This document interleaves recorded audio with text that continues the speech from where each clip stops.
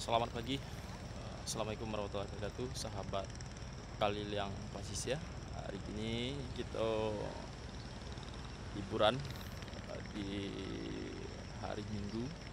Kita berada di puncak Labuan Sunde.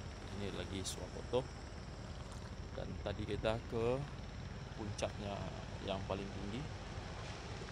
Dan kita sekarang menikmati sunrise bagi teman-teman yang mau ke sini silahkan kepoin Instagram Kalil yang Pesisir YouTube Kalil yang Pesisir dan Penspek Kalil yang Pesisir oke sekian terima kasih. Assalamualaikum warahmatullahi wabarakatuh. Keren sekali.